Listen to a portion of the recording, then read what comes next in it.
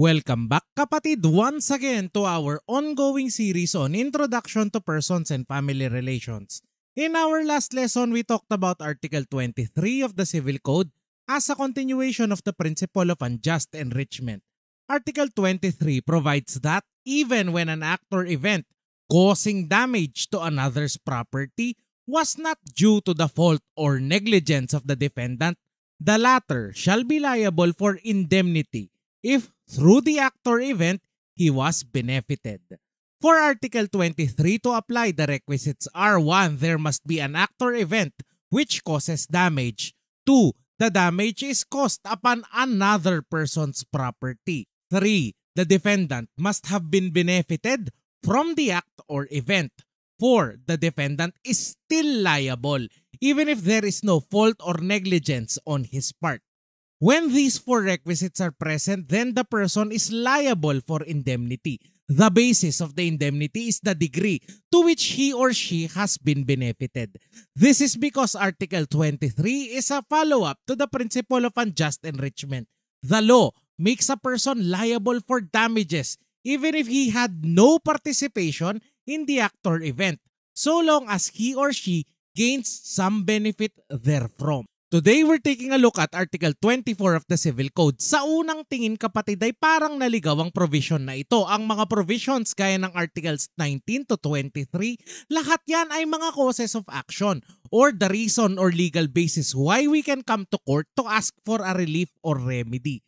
When you study this provision within the context of where it is placed, parang tama naman. Article 24 is part of the chapter on human relations. It's that part of the Civil Code that teaches us how we should behave towards one another in most aspects of our lives. However, there is one big difference. Article 24 is a directive addressed not to us but for the courts.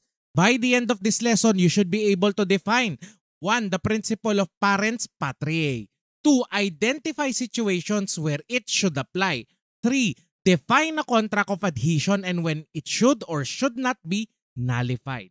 All of this and more coming right up. Hi, my name is Lex and welcome to Lex in Motion. In this channel, I'll be helping you build your competence, confidence, and capability in law school. Start today by hitting the subscribe button below. New episodes are posted every Friday. Article 24 of the Civil Code provides that in all contractual property or other relations, when one of the parties is at a disadvantage on account of his moral dependence, ignorance, indigence, mental weakness, tender age, or other handicap, the courts must be vigilant for his protection. This is a relatively short provision kapatid and with all honesty, hindi talaga ito tinatalakay sa persons and family relations. Itinuturing itong reading matter or things that you're expected to read on your own, to study on your own, and to a certain extent, something that's nice to know but not much use within the course. Hindi naman din ako papayag kapatid na palalampasin natin ang isang pagkakataon na madagdagan ang iyong kaalaman. Kahit hindi nyo ito i-discuss sa klase, I want you to be confident that you know and understand the reading matters within the law. I want you to be capable when these concepts are discussed later on in torts and damages and even in obligations and contracts. Article 24 of the Civil Code is not directed to us mere mortals kung papansinin ang last sentence ng batas na ito, isinasaad the courts must be vigilant for his protection. Article 24 in effect kapatid ay isang utos ng ating batas. Inaatasan ng mga korte na maging maagap at masigasig sa pagbabantay ng ating mga karapatan pero specifically kaninong karapatan. Article 24 mentions a class of or kinds of persons who need more protection from the courts. These people are those who suffer from moral dependence, ignorance, indigence, mental weakness, tender age, or some other handicap. Let's take a look at each of these persons and let's identify why they deserve more protection than, say, you and me. Moral dependence refers to the inherent imbalance in the relationship between two persons where one party needs the other more, such that the dependent party has no choice but to submit to the will of the dominant or more powerful party. The imbalance typically stems from socio-economic reasons.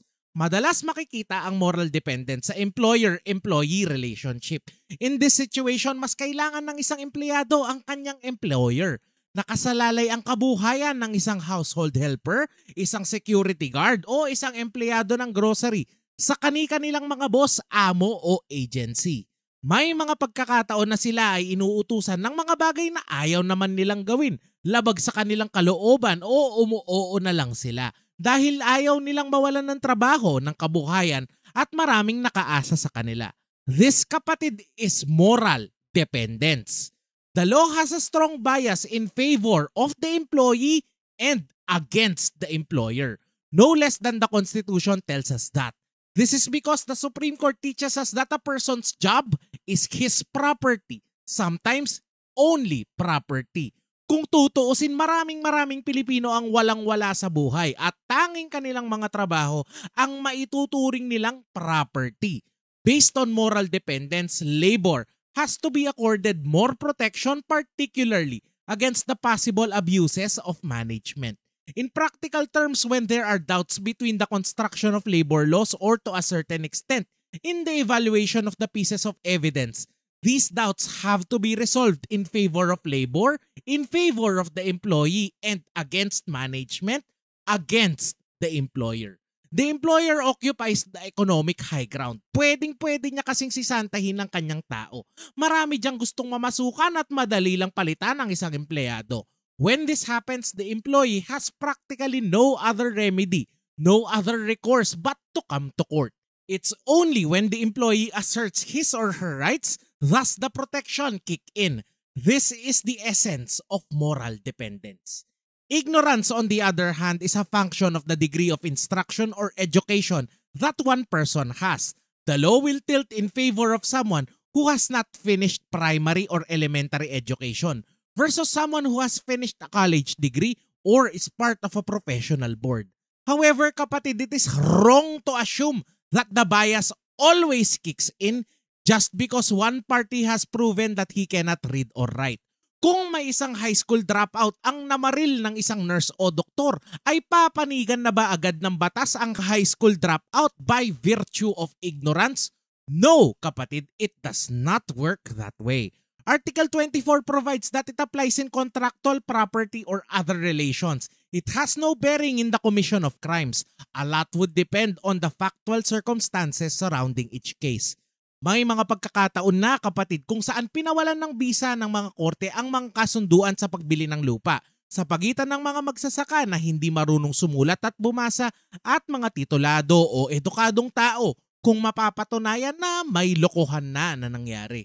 For the same reason, the degree of instruction and the amount of education a person has has been placed not as a justifying or mitigating circumstance under the revised penal code. Instead, we find it under alternative circumstance. If a person has used his knowledge, training, and education to commit the crime of estafa, then that should be taken against him. If because of the limited education of a person, he has committed a crime, then that can also be possibly used to mitigate his criminal liability. Indigence refers to the state of relative poverty. Sa ilalim ng Article 24, inaatasan ng ating mga korte na maging mapagmasid sa mga karapatan ng ating mga kababayan na naghihirap sa buhay. The law offers plenty of protection for the poor and you also see that in the rules of court. When you come to court kapatid and file a complaint against another person, you are required to pay docket fees, filing fees, and other fees. Nagbabayad tayo ng mga ganitong fees para sa bond paper na gagamitin para sa mga summons o ibang order ng court. Nagbabayad tayo nito para sa printer, kuryente, internet at iba pang mga gastusin ng korte para sa ating complaint. Nagbabayad din tayo para sa oras ng sheriff, court interpreter at ibang empleyado ng judiciary. Mahal ang filing fees and I want to discuss more about this on our series on civil procedure. For now, let me share with you the meaning of indigence in relation to our remedial laws. A person who comes to court has to pay the necessary docket fees and other lawful fees. That's the general rule. The exception is when an indigent comes to court to file a complaint. Rule 141 of the Rules of Court provides that a person is an indigent or pauper litigant when the combined gross monthly income of himself and his immediate family do not amount to double the minimum wage. Ang pangalawang condition, and I feel this is the more important condition, is that a person must not own real property whose fair market value exceeds 300,000 pesos. Kung pasok sa dalawang requisites kapatid, itinuturing ng batas na indigent ang isang tao. Hindi siya magbabayad ng docket fees. Pero kung siya ay mananalo sa kanyang complaint, iaawas muna ang dapat niyang binayaran bago ibigay sa kanya kung ano man ang i-award ng court. On the other hand, karaniwang makikita ang mental weakness sa mga kaso kung saan ang isang lola ay nagpapahiram ng titulo sa kanyang anak o apo pero ito ay hindi lang isinasanla kundi ibinebenta. Mental weakness is a condition of the mind. It typically presents itself in persons with advanced age, suffering from some mental illness or both. Mental weakness is something that courts must watch out for, particularly when the parties to a contract are of an advanced age or in the allowance or disallowance of a will, as executed by the person who may have been unduly influenced by a family member, friend, or caregiver. In a very, very old case decided by the Supreme Court in 1912, the court has had occasion to rule on mental weakness. Sa kasong ito kapatid ay may challenge sa isang will. The will in this case named Juliana Bagtas as the executrix of the will of Pio Quinto Pagyo. The will was later challenged by Isidro Pagyo, isa sa mga anak ni Pio Quinto from a prior marriage.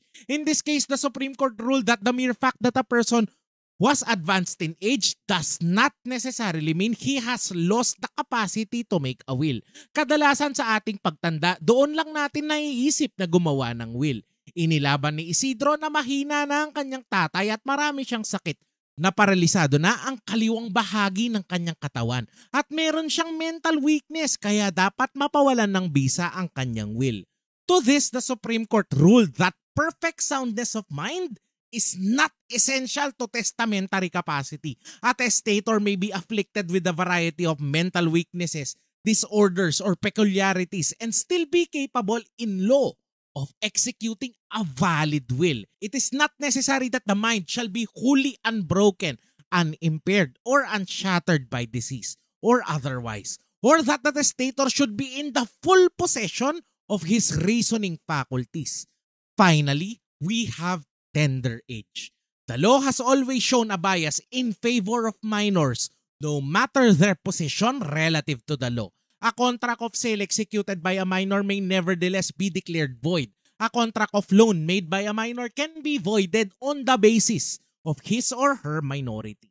When a minor is called as a witness to court, the law confers a lot of protection upon the minor. They may be called and examined not necessarily in open court but behind closed doors. A child witness has the right to be accompanied by a trusted adult or caregiver. Courts have to make every single accommodation possible to keep the child witness comfortable during the examination. The protection of children is so great, so wide, that minors who may have committed crimes are not denominated as accused. They are called children in conflict with the law, and their cases are handled specifically by court personnel who have undergone special training for this purpose. Why does the law afford protection for those who are morally dependent?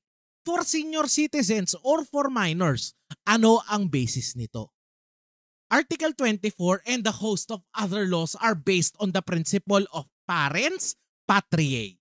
This is a doctrine you will encounter in constitutional law, administrative law, taxation, and other subjects. Parents patriae means parent of his or her country and refers to the state in its role as a sovereign or the state in its capacity as a provider of protection to those unable to care for themselves. In fulfilling this duty, the state may resort to the exercise of its inherent powers, police power, eminent domain, and power of taxation. Ibig sabihin kapatid ang Estado ang tumatayong ating magulang alang-alang sa mga taong hindi kayang protektahan ng kanilang mga sarili. Ang parents patriae ay tinuturing na autotimbalance para sa ating lipunan na kung hindi kikilos ang gobyerno para sa kapakanan ng mga mahihirap, mga matatanda, mga bata at mga taong may mga kapansanan, ay hindi magpapantay ang ating lipunang ginagalawan. Parents patriae is a role that the government takes in order to somewhat balance the inherent inequality of different persons within the state. Under this doctrine, the government is justified to use the three powers police power, eminent domain, and the power of taxation in order to afford protection against potential abuses to those who are morally dependent, mentally weak, or those who are of a very tender age. For example, the Senior Citizens Law or the law that grants discounts for senior citizens for their purchase of food, medicines, and other health services is based on the doctrine of parents patriae. Ang mga senior citizen kapatid once upon a time ay mga malalakas, malulusog at kapaki-pakinabang na miyembro ng ating lipunan. Ibinigay nila ang kanilang lakas at panahon para umandar ang ekonomiya at bilang ganti at least sa kanilang pagtanda ay sila sana ay mabigyan ng kaunting pabuya o konsuelo mula sa bansang kanilang pinaglingkuran. Sa parehong paraan kapatid sa ilalim ng Magna Carta for Disabled Persons, an imperfect law but still a good law affords the same protection for people who have suffered or were born with different abilities or as the law calls it, handicaps. The basis of the law is the doctrine of parents patriae. The goal here is for the state to somewhat balance their situation and to help them with their integration with society. For children, we have a lot of laws. I've already mentioned the rules on child witnesses and children in conflict with the law. There are portions under the Violence Against Women and Children Act that pertain to the protection of children in our society. And I hope to discuss more of this in our series for criminal law and other special penal laws. For now, let's look at the cases under Article 24 of the Civil Code. In Teresita Dio versus St. Ferdinand Memorial Park Incorporated, Teresita Dio is a well-known businesswoman from Lucena City she purchased from St. Ferdinand Memorial Park a parcel of land about 36 meters. This parcel of land was used as the final resting site for Teresita's father and husband. When her daughter died, she also buried her daughter on the same lot. Sometime in 1986, she decided to build a mausoleum on the land she had purchased. She had the design made and the possible cost of the mausoleum was 60,000 pesos. St. Ferdinand Memorial Park was duly informed of this plan. Teresita's plan was approved but the SFMPI pointed to Rule 69 of their contract that any plans for the construction of buildings, improvements, or memorials have to conform to the standards of SFMPI. Further, lot owners are prohibited from engaging outside contractors. Rule 69 of their contract provides that only SFMPI may build mausoleums, improvements, and memorials. Sinabihan si Teresita na base sa kanyang design ang total cost ay 100,000 pesos. For context kapatid, this was in the 1980s. Malaki ang value noon ng 40,000 pesos na dagdag singil kay Teresita. Teresita challenged the rule before the Regional Trial Court of Lucena City. She argued that the rule was added much much later than her purchase date in 1973. For St. Ferdinand Memorial Park, they argued that Rule 69 was part of the original agreement, that it was made in good faith, and the 100,000 pesos was not oppressive, unconscionable, na sapat lang ang kanilang sinisingil batay sa design at presyo ng mga materyales.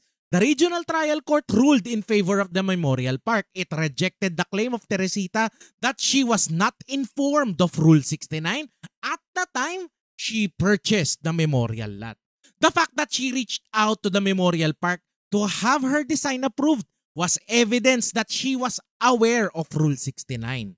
The Court of Appeals for its part affirmed the ruling of the Regional Trial Court.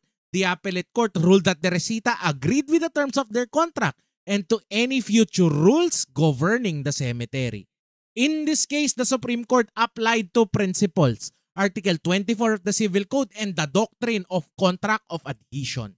The Supreme Court did not apply Article 24 of the Civil Code. It ruled that Teresita Dio is an experienced businesswoman.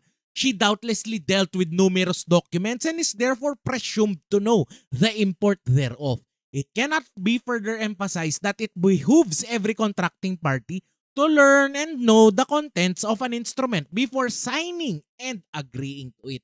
Sa kasong ito, hindi nakita ng Supreme Court bilang isa sa mga taong nangangailangan ng proteksyon sa ilalim ng ating batas. si Teresita Dio. Hindi siya morally dependent sa Memorial Park, hindi siya ignorante, naghihirap sa buhay. Wala ring katibayan na siya ay may mental weakness o kapansanan. Aware siya sa kanyang pinirmahang kontrata at dahil dyan, dapat siyang sumunod sa kanilang Rule 69.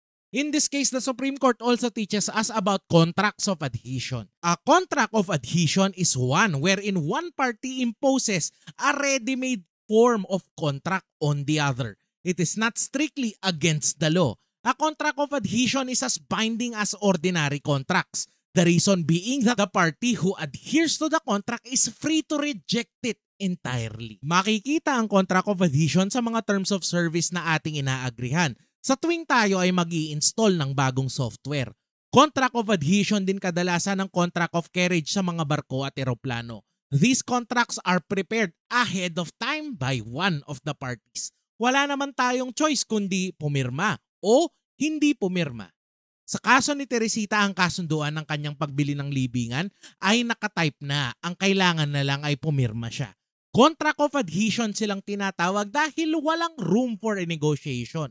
Yes or no lang ang sagot ng isang party. Our choice is to adhere to the contract or to reject it in its entirety. It bears stressing that a contract of adhesion is just as binding as ordinary contracts. It is true that we have on occasion, sabi ng Supreme Court, struck down such contracts as void when the weaker party is imposed upon in dealing with the dominant bargaining party. And is reduced to the alternative of taking it or leaving it, completely deprived of the opportunity to bargain on equal footing.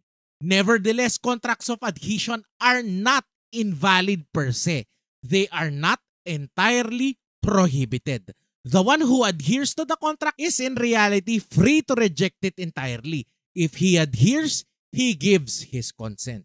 In this case, however, there is no reason for the court to apply the rule on stringent treatment towards contracts of adhesion. To reiterate, Not only is petitioner educated, she is likewise a well-known and experienced businesswoman. Thus, she cannot claim to be the weaker or disadvantaged party in the subject contract so as to call for a strict interpretation against the memorial part. Next case I'd like to share with you kapatid is the case of the spouses Vicente and Lalaine Cabanting versus BPI Family Savings Bank. Noong January 2003, bumili si Vicente at ang kanyang asawa na sila Lane ng isang 2002 Mitsubishi Adventure SS manual transmission. Binili nila ito sa halagang 836,032 pesos mula sa Mitsubishi. Installment ang laban ng mag-asawa at dahil dito gumawa sila ng promissory note kung saan isinanla ng mag-asawa ang kanilang bagong biling adventure. Standard naman ang ganitong chattel mortgage sa mga bilihan ng kotse na installment. One of the provisions of the promissory note is that in the event that the maker of the note fails to pay when the installment is due and payable, then the entire obligation shall become immediately due and demandable. No other notice or demand is necessary to collect the full amount. Ang tawag sa ganitong provision kapatid ay acceleration clause. On the date of the execution of the promissory note and chattel mortgage, Diamond Motors Corporation executed a deed of assignment in favor of BPI Family Savings Bank, where BPI became the holder of all the rights, title, or any interest over the promissory note and the chattel mortgage. This kapatid is the nature of bank financing in the purchase of motor vehicles on installment basis. The dealer of the automobile makes money from the purchase of one of its vehicles. Doon pa lang kumita na siya the bank or financial institution takes the risk of collection but also enjoys the rewards of the transaction. In most cases, that's the huge interest of the car loan. About 10 months from the purchase of the adventure, the spouses were unable to pay. Again, I am oversimplifying the facts here. BPI Family Bank filed an action to recover the vehicle and for the court to order the spouses to pay the unpaid balance thereon. In their defense, the spouses kabanting argued that they have already sold the vehicle na ibenta na po namin sa ibang tao who was assuming the balance but that this person failed to pay. The Regional Trial Court of Manila ruled in favor of BPI Family Savings Bank, partly because the spouses had waived their right to present their evidence. the Court of Appeals affirmed the ruling of the Regional Trial Court but deleted the award of 20,000 pesos as attorney's fees. The Supreme Court, speaking through then Associate Justice Diosdado Peralta, ruled in favor of BPI Family Savings Bank. He reiterated the ruling in Teresita Dio versus St. Ferdinand Memorial Park. The validity or enforceability of the impugned contracts will have to be determined by the peculiar circumstances obtaining in each case and the situation of the parties concerned. Indeed, Article 24 of the Civil Code provides that in all contractual property or other relations, when one of the parties is at a disadvantage on account of his moral dependence, ignorance, indigence, mental weakness, tender age, or other handicap, the courts must be vigilant for his protection. Here, there is no proof that the spouses were disadvantaged, uneducated, or utterly inexperienced in dealing with financial institutions. Thus, there is no reason for the court to step in and protect the interest of the supposed weaker party. In this case, the court ruled that the promissory note executed by the spouses was a contract of adhesion. A contract of adhesion is not invalid just because one of the parties exclusively prepared the contract ahead of time. The other party in fact has the choice either to agree to or adhere to the terms of the contract or to reject it completely. One more point about contracts of adhesion before we end tonight's lesson. And you will learn more about this during the second semester of your first year in obligations and contracts and again in torts and damages. When the terms of a contract of adhesion are not clear, any doubts on the contract shall be resolved against the party who prepared it. Ibig sabihin kapatid kung may malabong parts ng contract of adhesion ang bias ng batas ay patungo sa taong pumirma lang at laban sa taong naghanda at nagpapapirma na lang ng kontrata. To summarize tonight's lesson number 1, Article 24 is a dormant power. It is only activated when the weaker party comes to court. It is only then that the protection begins. 3. The law protects those who suffer from moral dependence, ignorance, indigence, mental weakness, tender age, or other handicap. 4. The basis of this protection is the doctrine of parens patriae. This principle means that the state acting as the sovereign must step in to afford protection to those who need it. 5. A contract of adhesion is one where the contract is prepared exclusively by one party and the other party has nothing else to do but to accept or reject it. 6. A contract of adhesion is not invalid per se. A lot would depend on the peculiar circumstances of the contract. All doubts, however, are construed against the party who prepared the same and in favor of the party who merely signs it. Maraming salamat kapatid kung inabot mo ang ending ng episode na ito. Sana ay may natutunan ka sa lesson na ito magkakaalaman naman tayo mamaya sa quiz. I hope you post your scores. If you would like us to continue with these lessons, please let me know by typing yes in the comments down below. Thank you so much for watching. Like and share this video for Good Law School Karma I will see you next Friday.